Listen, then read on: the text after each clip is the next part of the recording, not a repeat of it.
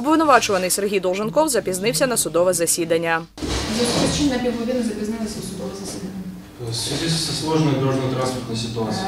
Е, Останнє по-перше і останнє попередження робить вам суд бути признано як неявку вашого судового засідання.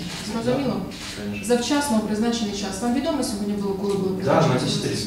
О 10 годин 30 хвилин ви повинні бути в центральному Да. суді. Зрозуміло? Посідайте, будь ласка. Суддя Катерина Лагода зачитала клопотання.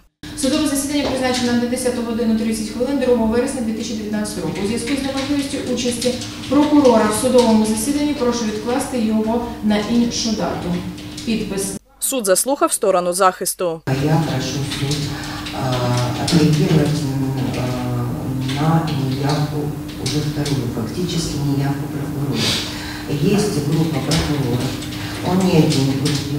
У нас а, второе судебное заседание фактически срывается из-за его неявки. Поэтому я прошу суд уведомить а, Генеральную прокуратуру о том, что ненадлежащим образом исполняет свои полномочия прокурора. Суддя Катерина Лагода зачитала рішення. У зв'язку з вимогами Кримінального процесуального кодексу України суд позбавлено можливості проводити судове засідання у зв'язку з неявкою прокурора та повноваженням Михайла його захисника Рибіна.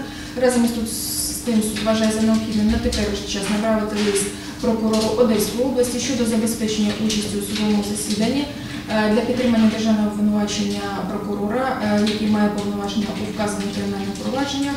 Е, оскільки вказані судові засідання, які призначалися до середини вересня, були е, зазначені і узгоджені разом із стороною обвинувачення. У зв'язку з цим сьогодні суд оголошує перерву у зв'язку з неявкою прокурора у судове засідання е, до визначеної дати 5 серпня вересня, вибачаюсь, 5 вересня 2019 року до 11 години. Підсудний Сергій Долженков говорить, незадоволений неявкою прокурора. Просили суд обратиться к генпрокурору. Просили суд звернутися до генпрокурора, але вона задовольнила частково та звернеться до обласної прокуратури для реагування.